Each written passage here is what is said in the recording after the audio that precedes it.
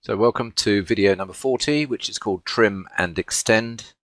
And this is all part of our editing section.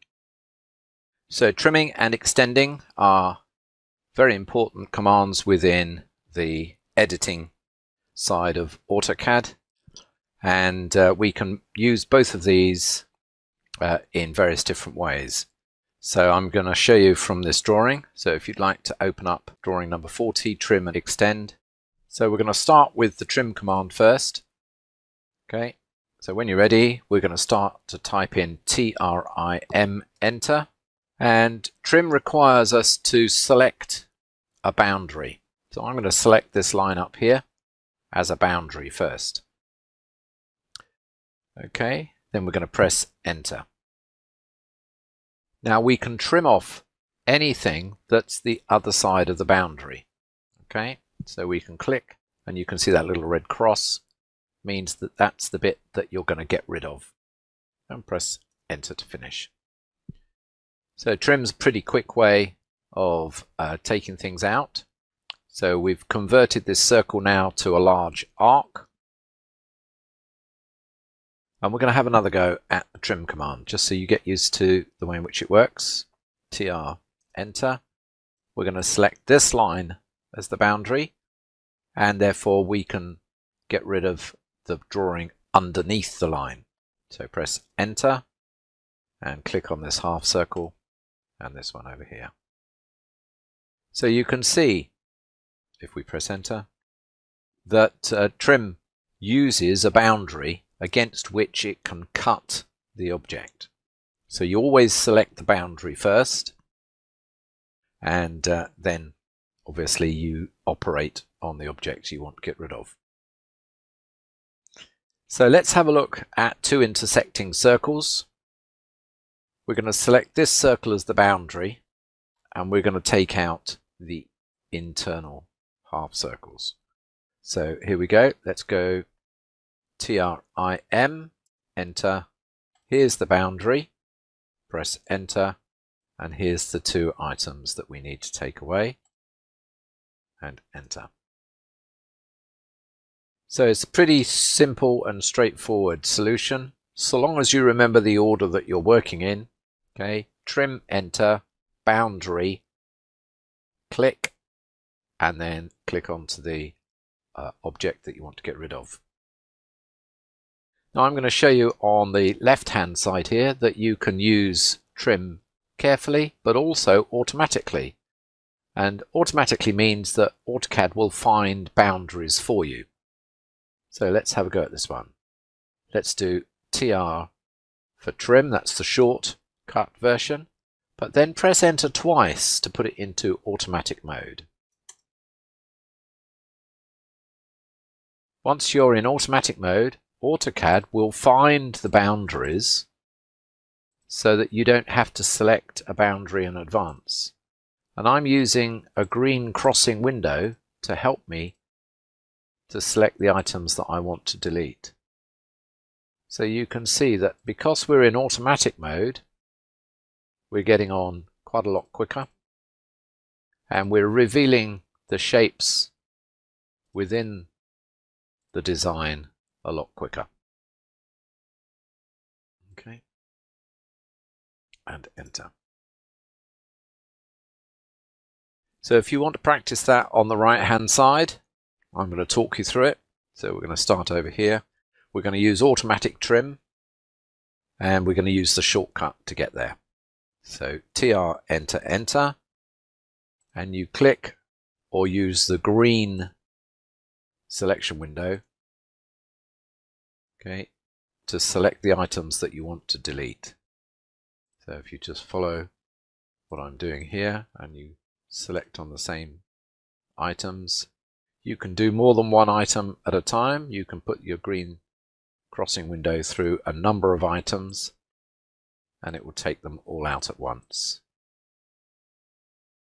You've just got to be careful about what you do click on because obviously AutoCAD's finding boundaries for you.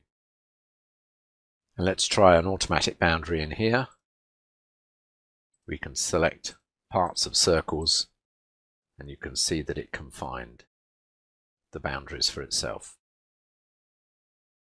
Okay, so the trim command is brilliant because it can help you tidy up your drawing really quickly. And because you can use the green crossing window during the selection process, it makes it even faster. Now, what about the opposite of trim? What about extend? Well, extend allows you to use a boundary and then you can extend your lines through other objects to find a boundary. So let's just say over here on the left hand side we're going to use this object as a boundary. Okay, and escape. And we're going to issue the extend command.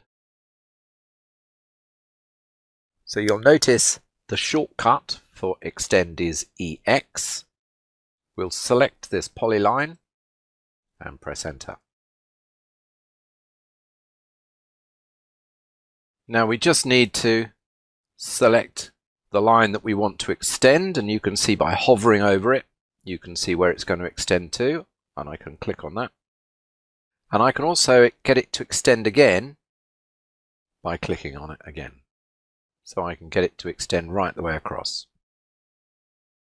now once you've done that press enter to finish and we'll try it on the other side so over here on the right hand side EX enter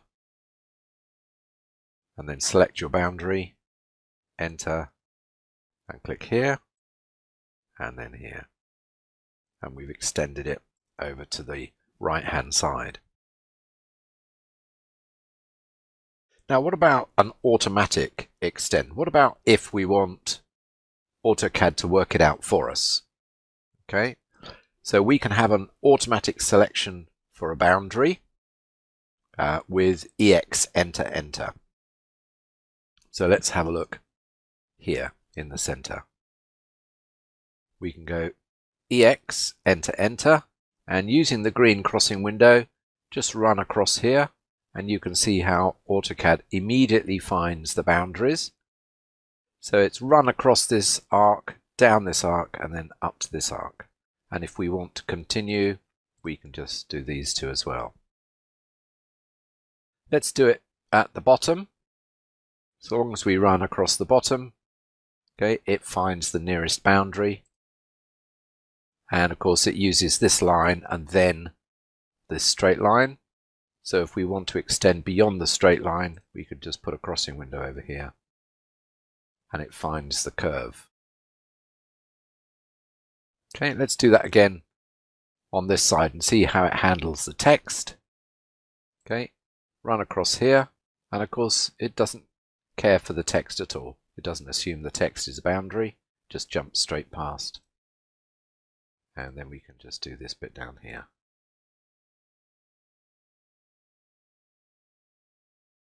So, automatic boundary finding is absolutely brilliant in AutoCAD. And oops, just click on one too many there. So trim, very powerful. Extend, very powerful. The manual mode is good for selecting your own boundaries. The automatic mode is great for AutoCAD selecting an appropriate boundary. So let's do a manual boundary first. Again, just to remind you of the way in which it works. So we're going to start with TR enter, that's the manual version and we're going to select this polyline and this line enter and we can take out the bit in between press enter to finish let's practice that on the other side. Same thing. Tr enter. Select the two boundaries. Enter. Select the item to be deleted. Enter. Now let's practice the automatic trim. Okay. And this one's really quick and really easy. TR enter. Enter. We can put a green crossing window straight down here and AutoCAD immediately recognizes those boundaries. And we can do the same thing at the bottom, straight down here. and you can see the way in which AutoCAD manages to understand what it is that you're trying to do. It finds the nearest boundary. That's its first objective. Okay.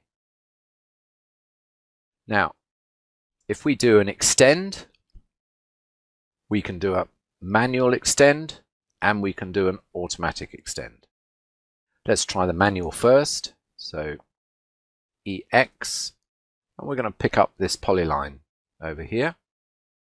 Press enter and then click onto the item that you wish to extend and you'll see it jumps over geometry because you've already defined where the boundary is. Okay, enter. Let's do that over this side.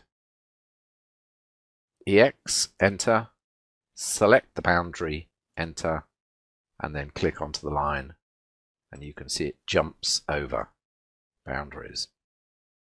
But of course, automatic doesn't jump a boundary until you've clicked beyond the boundary. Okay, so let's have a look down here. Let's see what happens. We're going to do an automatic extend of this line. And it's going to try and find a point over here. Okay, so EX, enter, enter. And there we go. Can you see it jumping across? And we can find an automatic extend over here.